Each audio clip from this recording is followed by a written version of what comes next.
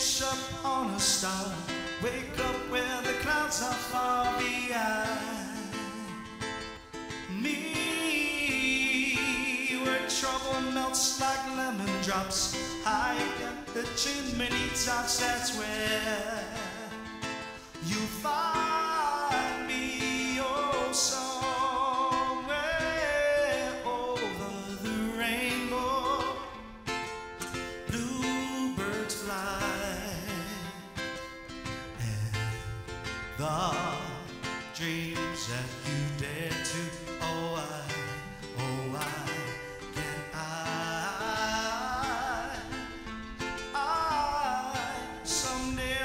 Up on a star. Wake up where the clouds are far behind. Me, where trouble melts like lemon drops. High above the chimney tops, that's where.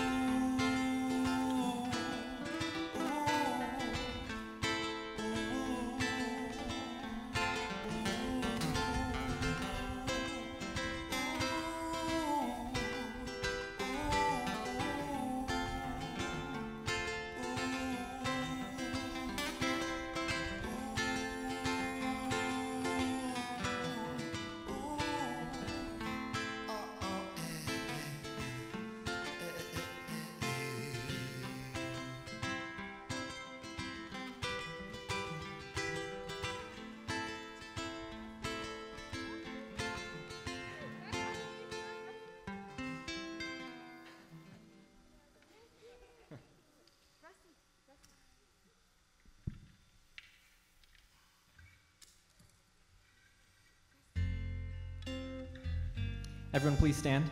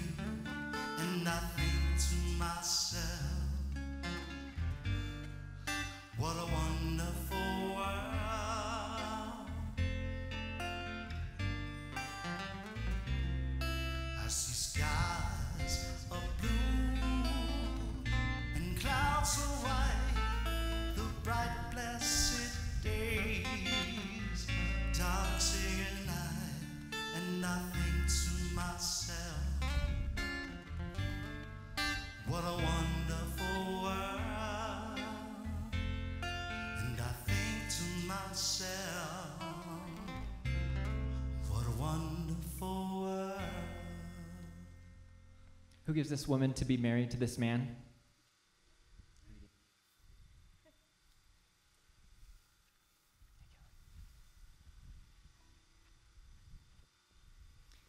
Welcome, everyone. You may be seated.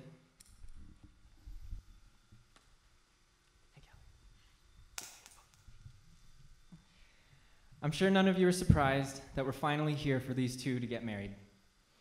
And I'm sure that none of you are surprised that we're here for these two to get married.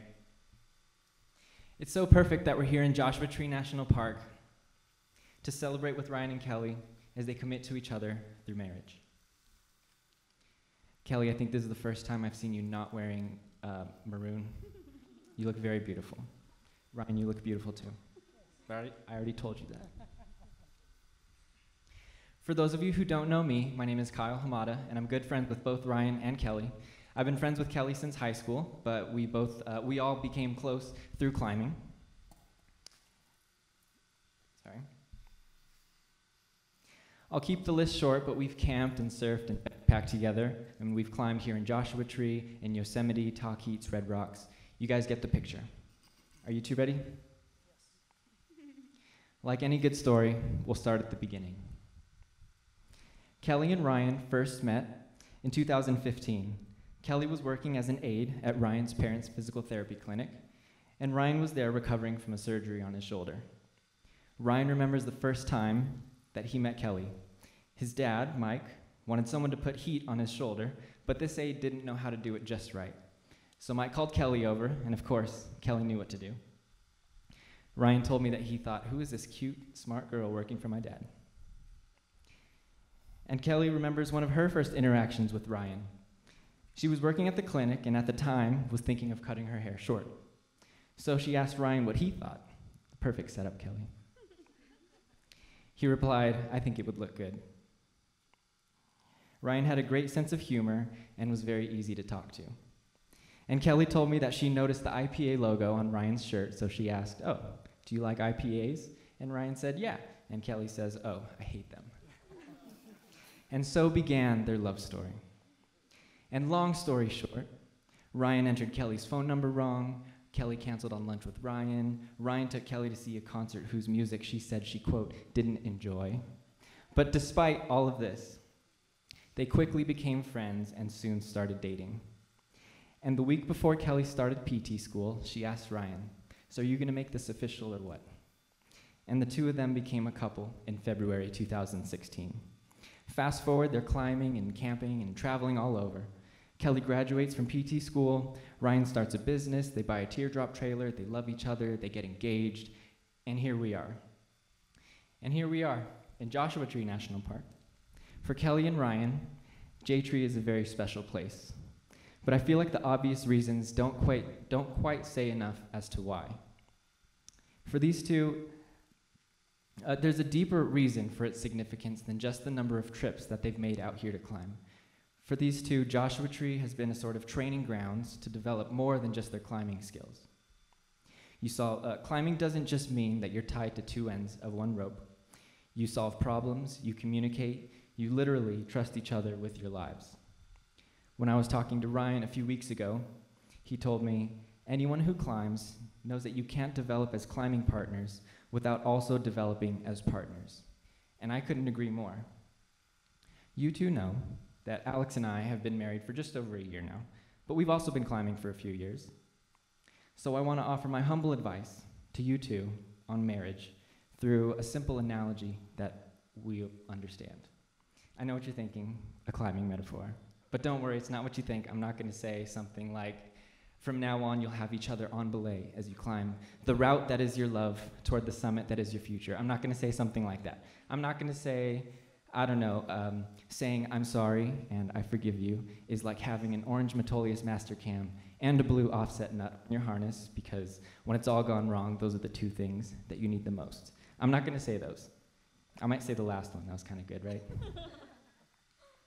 Instead, I have just four pieces of advice, and I know that that's more than you're used to because you usually only use three pieces, maybe two if the placements are bomber, but you know me, why use three when you can use four? so here they are. Number one, when it gets tough on lead and you feel afraid to fall, don't be afraid. Remember that you're safe because your partner will catch you, and so far has done so with a 100% success rate. Kelly, I've seen Ryan take a full case, a full face, a full rack of cams to his face, catching you in his arms. Number two, you are not the perfect climber, and neither is your partner. Sometimes communication breaks down, and it's easy to get frustrated, especially when the pressure's high and you feel exposed. You're both going to make mistakes, but that's okay. Every challenge is an opportunity to improve. You'll never be a perfect climber, but you can always be better. Number three, have fun. Climbing is fun. But remember, there are three types of fun, so embrace all of it. Type one, enjoyable while it's happening, a perfect 5-8 hand crack up to a comfy belay ledge. Type two, miserable while it's happening, but fun in retrospect. Silly slab top outs and cold sleeping bags, but you know you want to do it again. And finally, number four. Oh, sorry. And type three, type three fun. Not fun at all, even looking back, you know, off-widths. And finally, number four, you two are a team. You aren't working against one another, you're working together to overcome the obstacle that's in front of you. So encourage one another, celebrate with one another, and always remember that you two are a team. I know you two will have a beautiful marriage because I've seen it already. We all have. When I asked your friends and family to tell me a little bit about you two as a couple, they all said the same thing. You two make a great team. Balanced, complementary, reliable, like minded, you have each other's backs. Ryan cooks and Kelly makes the cocktail. They said it in their own words, but it was clear. You two are a great team. Ryan, Kelly loves that you're confident. You're always composed. You're smart and funny, generous, caring, and you can cook. But most importantly, you can cook sticky lemon chicken. And Kelly, Ryan loves that you're strong and you're smart. You're intuitive and compassionate, loyal, hardworking, resilient, and only you have filled an empty space in Ryan's life with all of the containers that he never knew he needed. And together, you two are unstoppable. You're ambitious, but you're committed. And climbing or not, when you two have a goal in sight, you go for it. You can make really difficult things look so easy. And if anyone has either climbed with you or tried to follow you driving in a caravan, you two move fast and you get where you're going. Together, your capacity to overcome challenges is incredible. You know each other's strengths and weaknesses, and together, you lack nothing. These are the qualities that you two bring into your marriage, and that's why you two will have a beautiful and joyous future as husband and wife. I know you two have written vows for each other, so Kelly, let's start with you.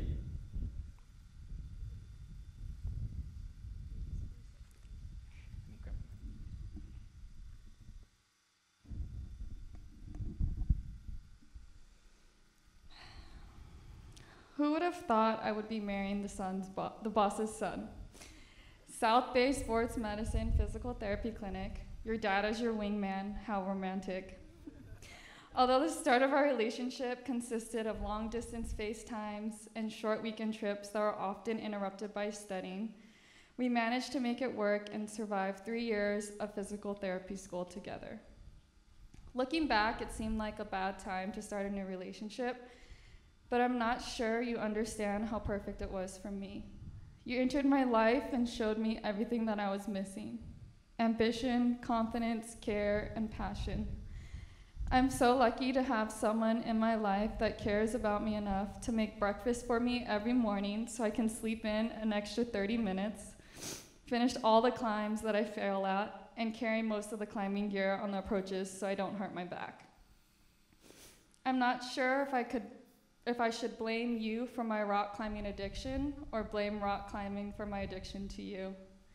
Through the ups and the downs, both on and off the mountain, we have formed an inseparable relationship built on communication, trust, and let's not forget shoulder dislocations. I would never want to be climbing. I would never want any other climbing or life partner because I know you will always push me to be the best I can be, and I feel safe taking risk while you will while knowing you will catch me when I fall. You are my team, and together we make the best team. Five years ago, you helped me decide if I could pull off short hair. And from that moment on, I, was, I knew I was going to be able to trust you to help me make all the big decisions in my life. We all know I suck at making decisions and go back and forth a hundred times before settling on my choice. But Ryan, let me tell you, I've never been so sure of a decision in my life, and I know I will never go back on this one. Thank you for loving me and all my indecisiveness and craziness. Thank you for supporting me and all the Tupperwares that I purchase. Thank you for trying your best to understand me when I can't understand myself. Thank you for doing whatever you can to make my life easier, even when I don't let you. And so, with the b- biggest decision of my life, I promise to love you and cherish you. I promise to always support you and your dreams to climb Rainbow Wall and Nose in a Day I promise to fight for you and never give up on us. I promise to always clean the kitchen when you make dinner, to take care of you when you're sick, unless you're throwing up. and I promise to be there by your side, or more likely right behind you, through every crux as we walk, hike, or climb through this thing called life together. I love you and will continue to love you for who you are and who you will become. I will be the best wife, partner, and teammate I can be forever and ever. And now, Ryan.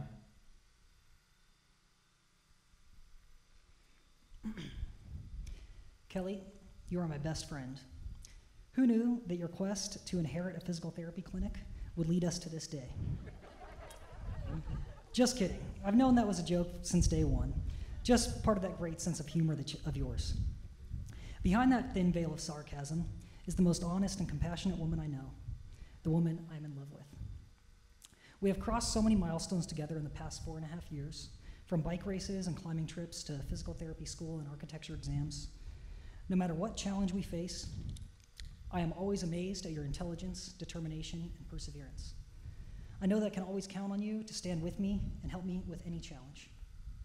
Like that time I got the car stuck in the mountains and you didn't bat an eye when I asked you to get on the roof so I could get better traction under one wheel.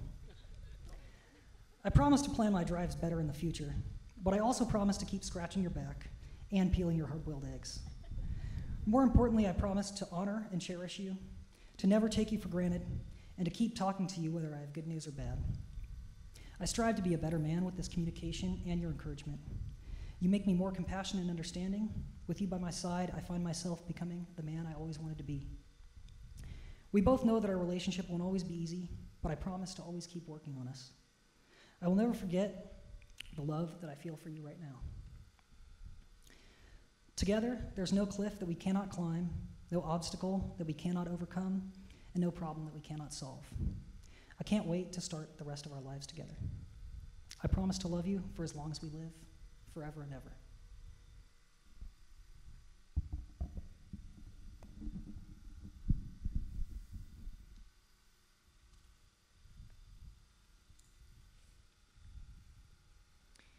And now, may I have the rings?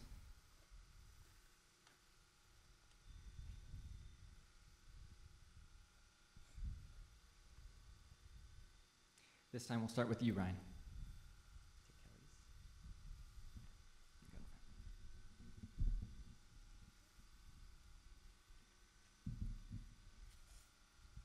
Let me back on this. Can't read. Ryan, as you place this ring on Kelly's finger, repeat after me. I, Ryan, take you, Kelly, to be my wedded wife, to have and to hold, from this day forward, for better or for worse, for richer or for poorer, in sickness and in health, till death do us part.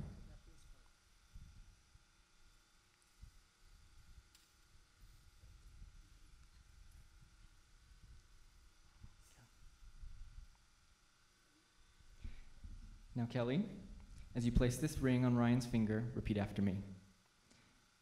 I, Kelly, take you, Ryan, to be my wedded husband, to have and to hold from this day forward, for better or for worse, for richer or for poorer, in sickness and in health, till death do us part.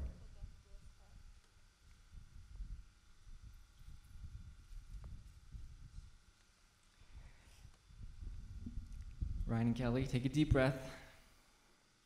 Look around. Are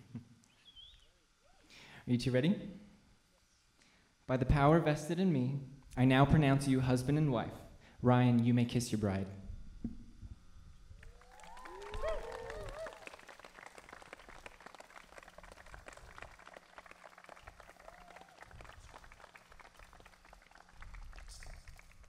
Ladies and gentlemen, it is my honor to introduce to you for the first time Mr. and Mrs. Fischvogt.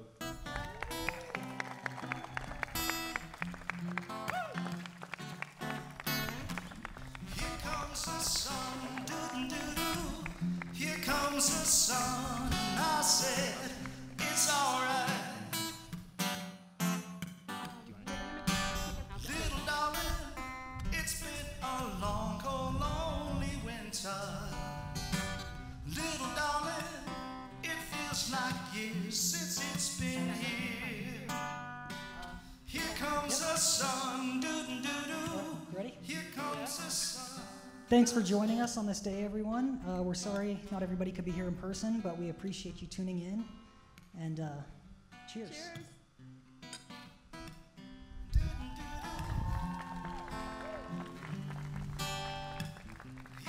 Here